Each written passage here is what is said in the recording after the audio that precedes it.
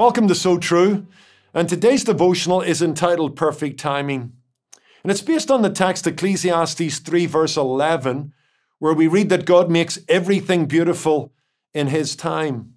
Phillips Brooks, the former and famous New England pulpiteer, was known for his calm demeanor, his unruffled spirit. So you can guess the surprise of his associates when they find him pacing up and down the floor of his study like a lion in a cage. One of the friends asked, What is the trouble, Dr. Brooks? He abruptly responded, The trouble is, I'm in a hurry, but God isn't. There are times when we feel as if heaven's clock is off by a few days, a few months, a few years. God seems to be taking his time and answering that prayer, meeting that need, changing that circumstance, or bringing final justice. There we sit in the waiting room, unattended and anxious. When we feel that way, guess whose clock needs to be reset? Ours.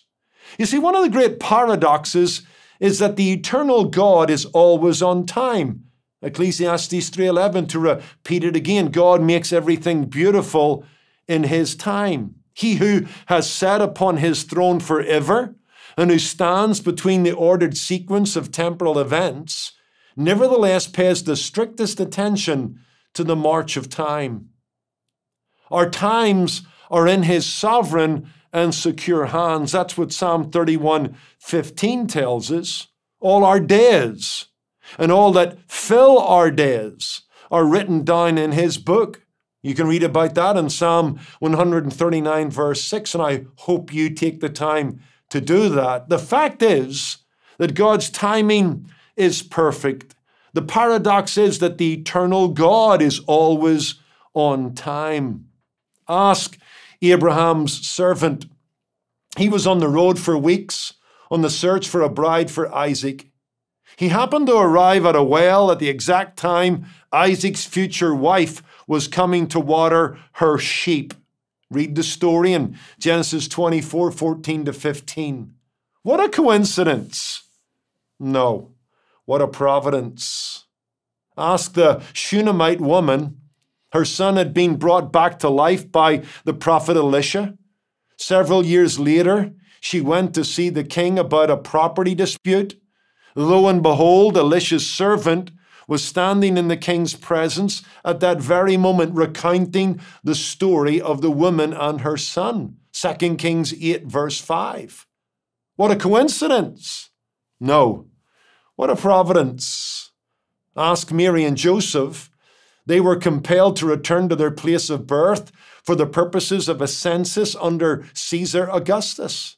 There in the town of Bethlehem, Jesus would be born at the right time and in the right place. Micah 5 2 told us that the Messiah would be born in Bethlehem, and that happens in Luke 2, verses 1 to 6. Now, Paul sheds an interesting sidelight on that in Galatians 4, verse 4. We read that in the fullness of time, or when the fullness of time came, um, Jesus was born uh, of, of a woman. Uh, the, the Greek there carries the idea when the time was ripe, uh, the Lord Jesus Christ came born of a woman.